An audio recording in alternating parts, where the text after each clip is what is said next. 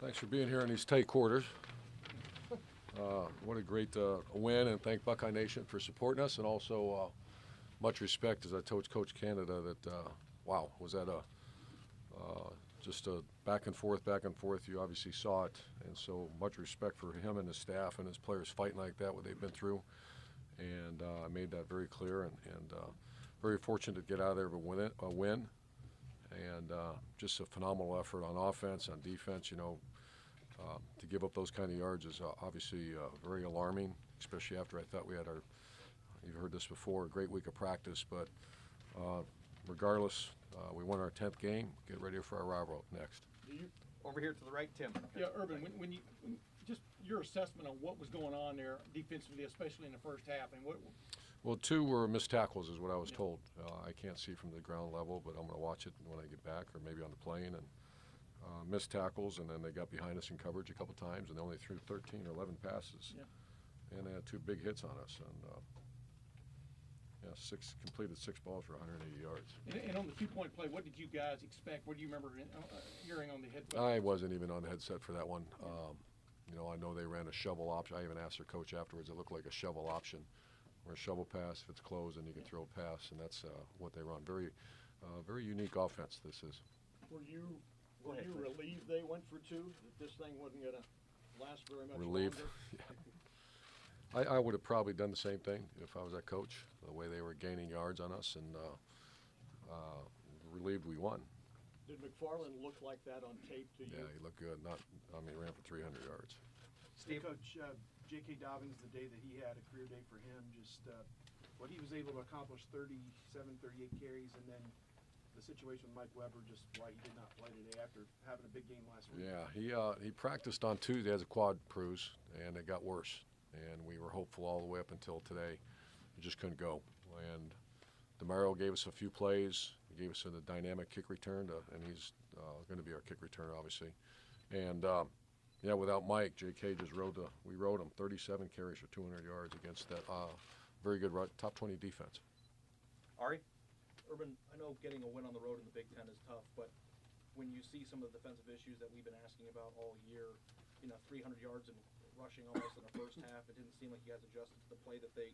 I mean, is it an alarming situation that you have here on defensively, giving up 50 points? It is. You know, I thought we broke the rock a little bit the last couple weeks with the limitation on big plays, and uh, they played. You know, you look against Michigan State, we gave up other than the quarterback run. I think for the whole day, 18, 20 yards rushing for the whole day. Other than that, when the QB uh, got out of there, so uh, alarming is the right word. Uh, but we won, and let's go back to work. Get ready for the next feel one. like moving forward, you guys are just going to have to learn how to win by giving up, you know, in games No, or giving no, no, no, no, no. never accept that? No, we're not going to accept that. Rob, middle here? Urban, you have fourth and one in the OT. What are you hearing through your headset? Did you call the pass? The gut, pretty gutsy call. Ryan Barry? called it. Uh, obviously, I had to prove it, but uh, a very stout defense, and you know, we, we you know, the thing that you saw today in that short yardage is, you know, uh, Dwayne uh, went in there and kept the ball times. You have to. There's, you know, I just don't know any other way, or you got to throw a lot. And fourth and one to, uh, uh, you know, I heard the call. What do you think? What do you think? And uh, uh, it was a great call. Over here to, uh, behind uh, coach to the right, Doug? Urban, on the defense though, when you, you know, we've been talking about giving up big plays. You've been talking about that since the beginning of the year. When you're in week 11 and you're having some of those same issues, is there something going on with the coaching that it's not getting corrected when you're dealing with some of the same stuff this late in the year? Well, it's the players and coaches together. You know, if it's a missed tackle, then we're not teaching tackling enough. Uh, if it's a scheme issue, then that's a coaching issue. Uh, I can't give you the answer right now. I'll probably have a little more answer for you on Monday. Uh, but it's very alarming. And, and just, again, the, the camera's on you all the time on the sideline. Just as you go through this emotionally, what's it like emotionally for you in a game like this? There did seem times when you're just, you know, you guys miss this or something happens, but then you do something great. What's it like for you? What's it like for you? I mean, I'm not getting. Oh, okay. I, I got to write the story whether you know, win or lose, but I can't imagine. I what ju- like it's for you guys. frustrating when you see a pick six, when you see a, a, a tight end not release on a pass and the quarterback fumbles, and you see, uh, you know, uh, a guy that uh, very good running back from Maryland. So I mean, it's up and down, up and down. I look, you know, what a chess match down at the end of the game. When uh, you know, I wonder if they, you know, if they don't score there, and more clock goes off, and I'm not sure what happens. So. A very emotional game. And been doing this a long time, but that's a very, I think it's our, I can't remember how many overtimes we've been in, but we, we've, uh, been pretty good in overtime games. Tony? Urban, uh, Dwayne Haskins has set a bunch of records at Ohio State, but what kind of step forward did he take as a team leader today? Ran harder than we've seen him before? He did. he what kind of did, uh, Step did he take today? Yeah, he did. He, he needed to take that step. That's the next step in his career, is the toughness, the leadership, and obviously uh, threw threw the ball. And everybody, you got to remember now that was a top 20 defense that we went against, and uh, I thought a lot of guys made some big plays for us. Obviously, Austin? Urban, you know what's coming next Saturday. I wonder what you saw today has, uh, if you think that this version of Ohio State is ready for that rivalry test. we'll have to play better than we did on defense, or we won't win that game.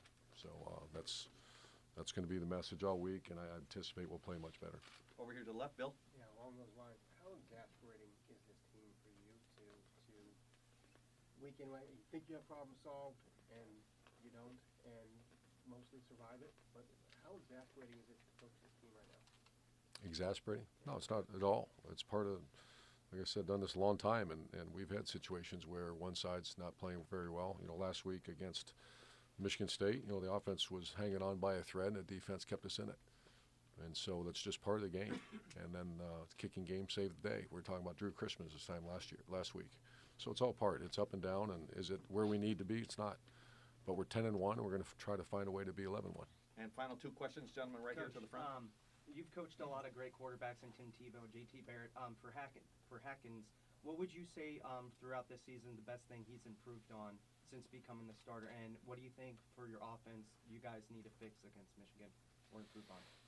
I think he, he made the point that what's missing was the toughness element and the, the opportunity to pull the ball down and run and go get your yards. And he did that today. I thought that's the best he's done. I mean, uh, I think he scored. Yeah, he pulled it in and, and the, re- the read play and he dropped his pass.